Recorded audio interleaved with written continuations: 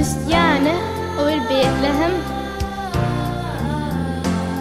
Send dine stråler ned. Og minn oss om at julens bud